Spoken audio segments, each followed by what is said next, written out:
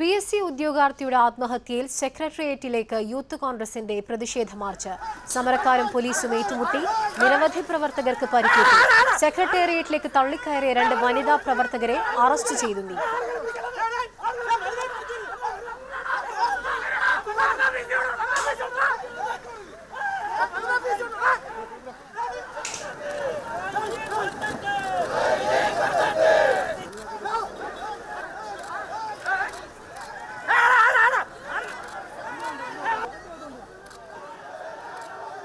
കൂടുതൽ വിവരങ്ങളുമായി തിരുവനന്തപുരത്ത് നിന്നും അരുൺ കുമാർ ചേരുകയാണ്. അരുൺ പ്രതിഷേധം അവസാനിച്ചിട്ടുണ്ടോ? എന്താണ് നിലവിലെ സാഹചര്യം?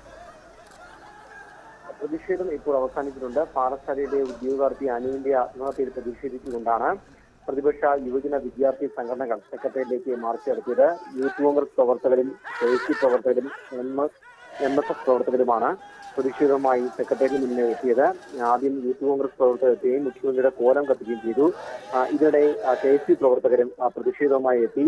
ഈ പ്രതിഷേധങ്ങൾ ബാരിക്കേഡ് തകർത്തുകൊണ്ട് മുന്നേറാനുള്ള ശ്രമം പോലീസ് തടയുകയും ജലവീരങ്ങൾ പ്രയോഗിക്കുകയും ചെയ്തു. ഇതിനിടയിലാണ് രണ്ട് യൂത്ത് കോൺഗ്രസിന്റെ പ്രതിഷേധത്തിന്റെ സംഘത്തിലുണ്ടായിരുന്ന രണ്ട് വനിതാ പ്രവർത്തകർ സെക്രട്ടേറിയറ്റിന്റെ മതിൽ ചാടിക്കടന്ന് അകത്തേക്ക് പ്രവേശിച്ചത്. അകത്തുണ്ടായിരുന്ന ആ, പോലീസ് ആർ ഇവരെ പിടികൂടുകയും പോലീസ് വാഹനത്തിൽ സ്റ്റേഷനിലേക്ക് മാറ്റുകയും ചെയ്തു. ഈ മതിൽ ചാടിക്കടന്നവരെ പിടികൂടാൻ പുരുഷ പോലീസുകാർ ശ്രമിച്ചുവെങ്കിലും മറ്റു പ്രവർത്തകർ ഇടപെട്ട് തടയുകയാണ് ചെയ്തത്. പക്ഷേ ഉള്ളിലേക്ക് ഇവർക്ക് കടക്കാൻ വേണ്ടി കഴിഞ്ഞു. ഇവർ കടന്ന് മുഖ്യമന്ത്രി വാർത്താ സമ്മേളനം നടത്തുന്നതിന് തൊട്ട് മുമ്പ് നാല് മണിക്ക് വാർത്താ സമ്മേളനം തുടങ്ങുന്നതിന് മുമ്പായിരുന്നു ഈ പ്രതിഷേധം. അങ്ങോട്ടേക്ക് പോവുകയായിരുന്നു ഇവരുടെ ഉദ്ദേശം. പക്ഷേ പോലീസ് അവരെ തടഞ്ഞു. അവരെ അവിടെ നിന്ന് നീക്കം ചെയ്തു.